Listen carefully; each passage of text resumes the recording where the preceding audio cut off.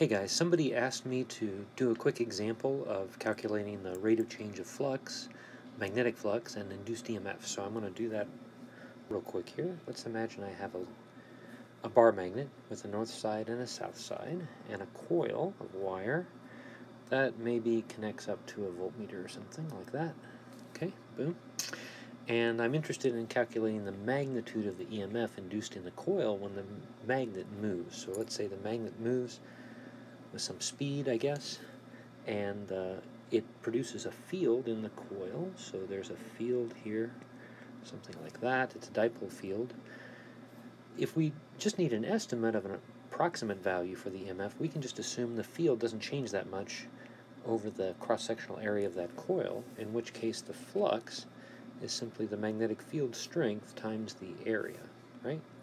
Now the magnetic field strength from a dipole is going to be mu 0 over 4 pi, and then it's going to be twice mu over x cubed, where x is the distance, say, between the magnet and the coil, and I got to multiply that by the area of the coil, something like that. That's going to be the flux.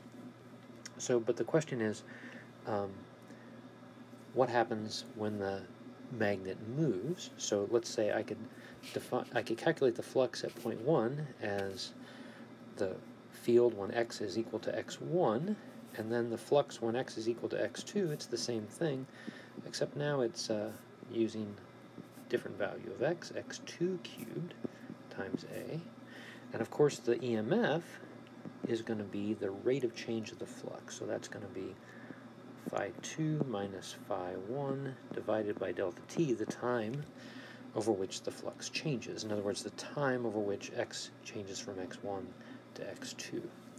Now, the other thing I can do here, let's see, is to um, figure out which way the EMF is going to go. I'd use Lenz's law for that. Since the magnet's moving to the right, the magnetic field is getting bigger, and the flux is pointing to the left. So the induced EMF is going to want to produce a flux in the opposite direction. So the induced EMF wants to produce a current that goes down in this side of the wire and up in the other side of the wire. In other words, looking at the coil, it's if I'm looking at the coil, from the magnet's perspective, the current is going to flow in the clockwise direction in this picture. Okay. So that answers that question. And then, of course, oh, this EMF, that's the EMF in one turn of the wire. To get the EMF in the whole coil, I've got to multiply by n, the number of turns in the wire.